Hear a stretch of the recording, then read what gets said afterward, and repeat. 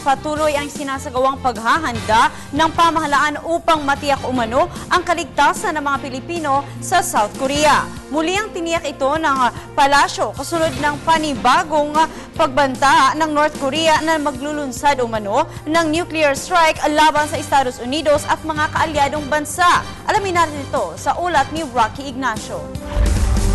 Tinututukan ng gobyerno ang kahandaan ng Pilipinas kaugnay pa rin ang pag-init ng tensyon sa Korean Peninsula.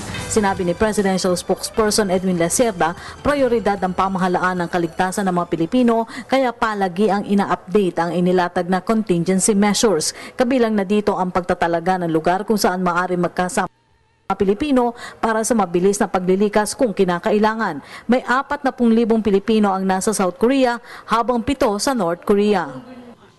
Reprovision of supplies. Primarily, that's what they, they come here for.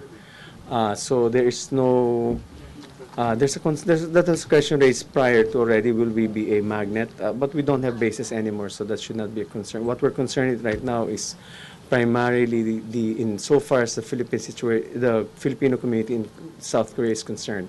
That's our concern right now. But uh, Philippine, the U.S. Navy ships that fly in and out, they're here for provisioning, reprovisioning, and also for some rest and recreation. Beyond that, there's nothing that they, they do here. Nauna nang nagpahayag ang liderato ng South Korea na kahandaan sa banta ng North Korea.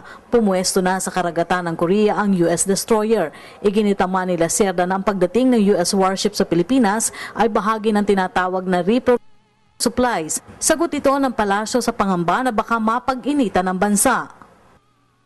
We have identified areas of convergence where in case the situation in South Korea uh, takes a turn for the worst. So contingency plans are being made right now, and they will be um, they're being drafted right now to update the plan. Samantala patuloy naman ang mahigpit na koordinasyon ng Department of Foreign Affairs sa Filipino community leaders sa South Korea. Para sa Telebisyon ng Bayan, Rocky Ignacio.